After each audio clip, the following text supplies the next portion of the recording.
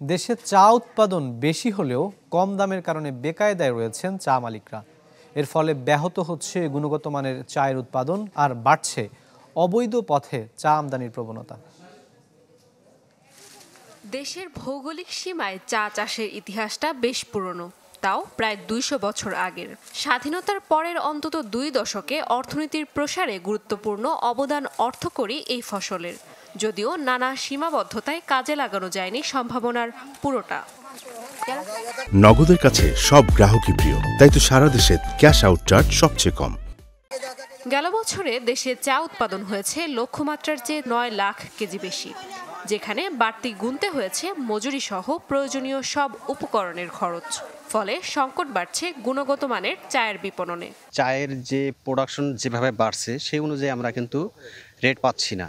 এখন রেট পাচ্ছি না কি জন্য মার্কেটে যে ধরনের আবার কোয়ালিটি পছন্দ করে এখন প্রোডাকশন বাড়ার সাথে সাথে কিন্তু আমরা কোয়ালিটিটা ইনশিওর করতে পারি না। আমরা সর্বোপরি চেষ্টা করছি যাতে আমাদের গুণগত মান বৃদ্ধি করে যাতে আমাদের চায়ের দামটা বৃদ্ধির মাধ্যমে যাতে আমরা উৎপাদন খরচটা থেকে উৎপাদন খরচ থেকে বৃদ্ধি করে আমরা যাতে আমাদের মুনাফায় যেতে যেন যেতে পারে। একটা গ্রেডিং পদ্ধতি করেছে। এই গ্রেডিং পদ্ধতি যদি শেষ শেষ পর্যন্ত যদি বাস্তবায়ন করা হয় আশা রাখা যায় যে এই- এই এই সমস্যার সমাধান হবে। রয়েছে উৎপাদন খরচের তুলনায় প্রত্যাশিত দাম না মেলার অভিযোগ। এমন অবস্থায় বাড়ছে অবৈধ পথে চা আমদানির প্রবণতা। গুণগত মান রক্ষা আর ন্যায্য দাম নিশ্চিতে কার্যক্রম তুলে ধরলেন এসব কর্মকর্তা, যেখানে গুরুত্ব পাচ্ছে উন্নত জাতের চা উৎপাদনের মাধ্যমে রপ্তানি আয় বাড়ানোর বিষয়টি। প্রায় আমাদের দেশে সরাসরি প্রত্যক্ষ পরোক্ষভাবে চার লক্ষ লোক চায়ের সাথে সংশ্লিষ্ট।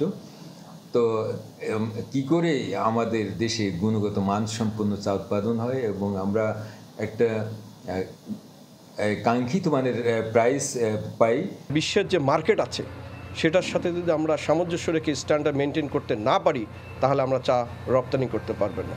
তাহলে আমরা এখানে করেছি যে নিম্নমানের চা, যেটা টু ক্যাটাগরির নিচে হবে, সেটা বিক্রয়ের জন্য কতটা যোগ্য, সেটা কিন্তু ব্রোকাররা বলে এবং বর্তমানে লিকার রেটিংয়ে ভিত্তি করে নিলামে তোলা চায়ের জন্য ছয়টি গ্রেড ভাগ করে সর্বনিম্ন মূল্য নির্ধারণ করা হয়েছে।